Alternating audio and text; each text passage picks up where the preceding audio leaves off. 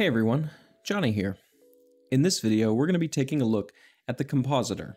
If you're unfamiliar with node editors, and you haven't already watched my video on using them, you can check that video out here. The compositor is a post-processing tool that takes the outputs of your renders and manipulates them via a node tree before completing your render. By default, compositing is enabled in the post-processing section of the Render Properties tab in the Properties window.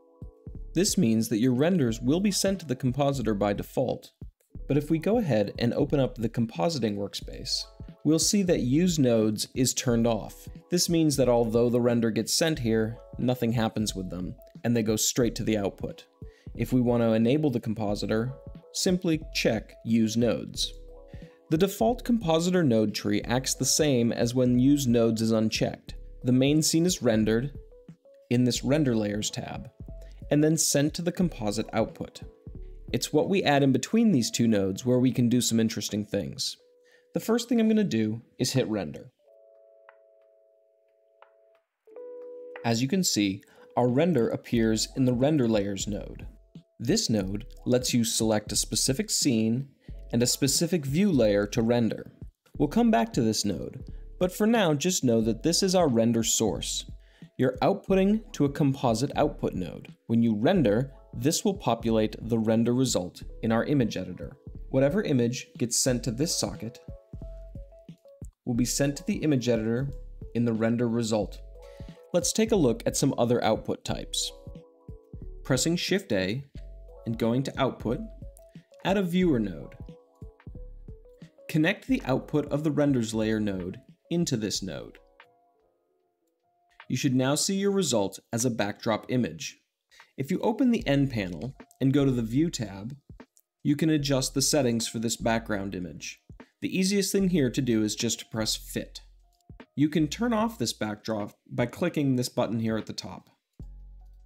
In addition to making this image available as a backdrop, the input to this viewer node is sent to the viewer node result in your image editor.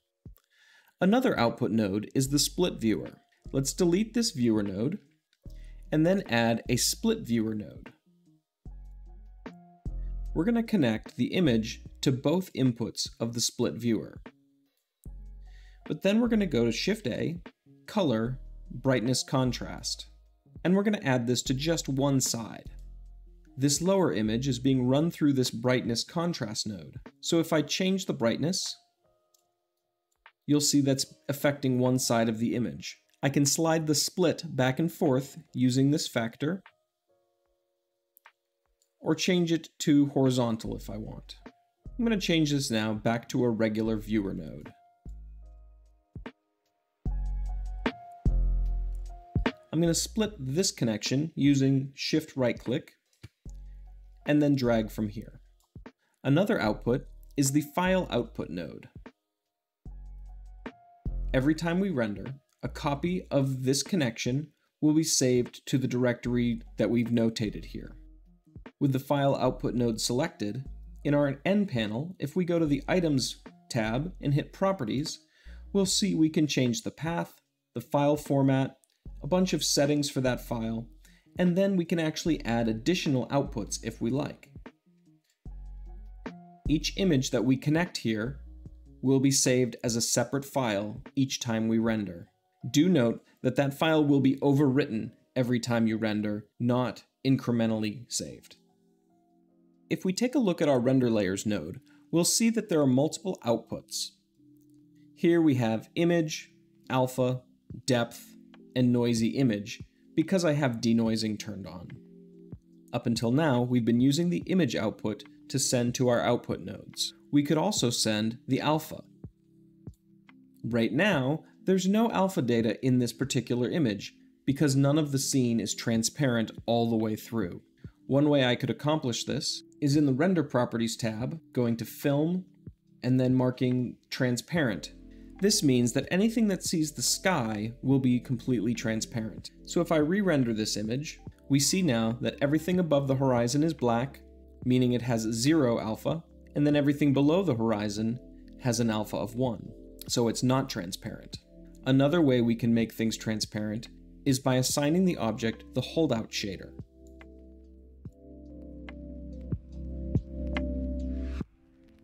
You'll see now that that particular rock has been marked with 0 for its alpha channel.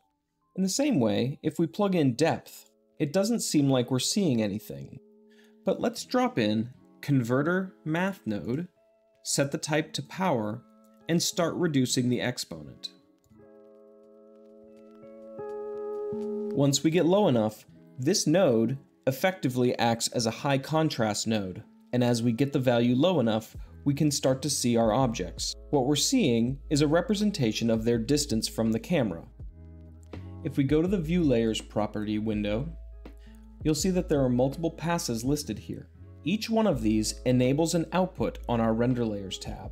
So I could enable ambient occlusion, shadow, emission, and any other items I wanted, and that will enable those outputs on my render layer. Let's render this and see what this gives us.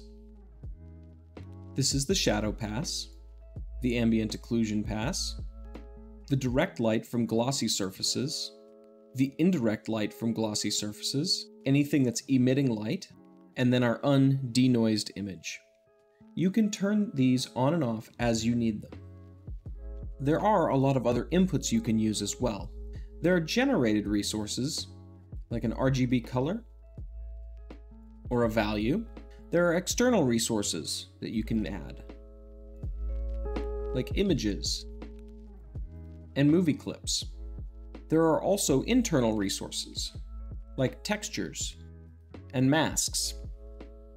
These can all be added to your node tree and combined as you need them. Here, I'll add an image.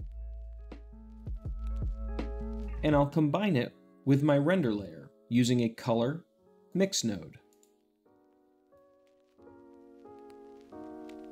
setting the type to multiply, you can see my two images have been multiplied together. If I were to create a texture, I could add that,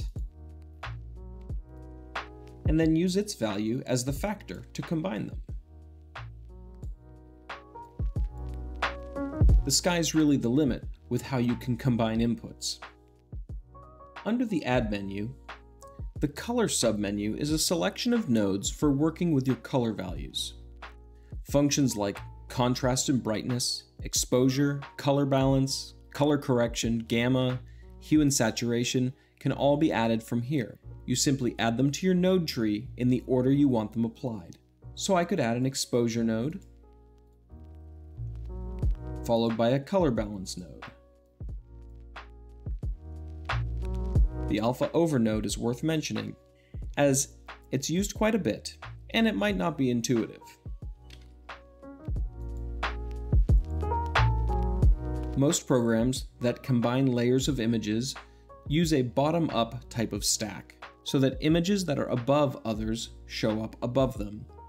However, in the alpha over node, the lower image is placed in this first socket, and the higher image is placed in the bottom socket. So if I wanted to put this image over this white image, I would place it below it, like this.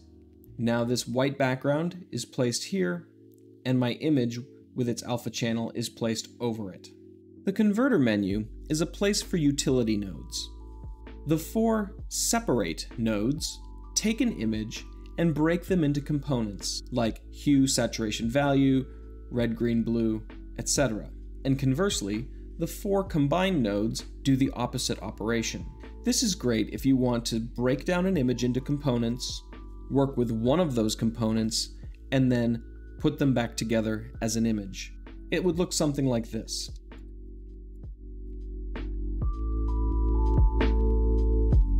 Now with this node setup, I could adjust the red, green, blue, or alpha channel of this image separately from each other.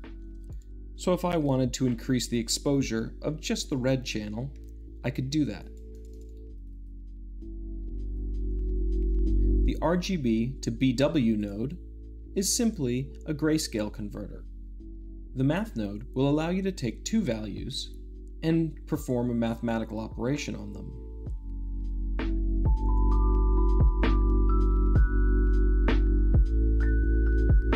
The Filter menu contains nodes for adding filter effects to your node tree.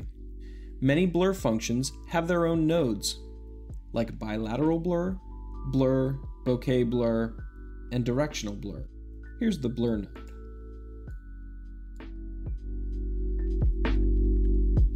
Filters like soften, sharpen, edge detection, etc.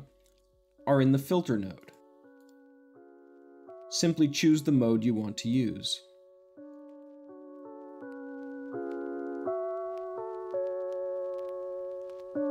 The glare node will let you add glare and bloom to your image if you have bright points, like this circle that's emitting light. Here is the streaks mode, the ghosts mode, the fog glow mode, and the star mode. The matte menu has nodes for doing chroma keys and other sorts of mattes. For instance, you could add an ellipse mask. I'm going to plug my ellipse mask into my output for a moment so I can see it. Then I can change the size to what I want. Now this mask will provide a value of 0 where it's black and 1 where it's white. I can use its output to drive other nodes. Here I'll add a blur node, and I'll plug my mask into the size. And now everything that was white on my mask is blurry and everything that wasn't isn't. But maybe I wanted it the opposite. I could use an invert node from my color menu on my mask output. Changing one of my windows to an image editor and changing it to my viewer node, I'm going to go into mask mode. Here I'll add a circle mask.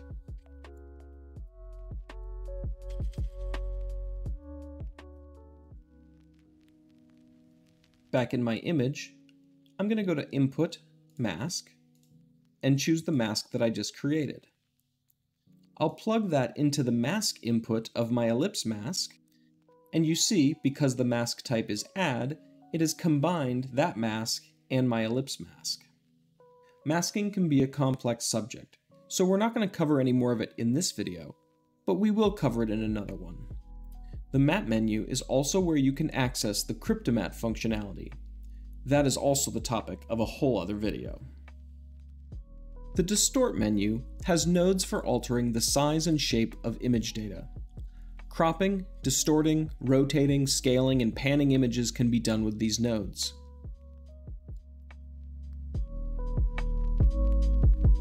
Also in the Distort menu are nodes for altering an image to work with camera tracking, lens distortion, and plane track deforming. The group and layout menus are very similar to all of the other node-based editors. If you want to check out how to work with those two menus, go ahead and check out the other video on node editors. I hope this overview of the compositor has been helpful and give you an idea of the types of things you can do in the compositor. So make sure to subscribe to the channel and give this video a thumbs up if you found it helpful. As always, thanks for taking time out of your day to watch my video. I hope it inspires you to do something awesome. I'll see you next time.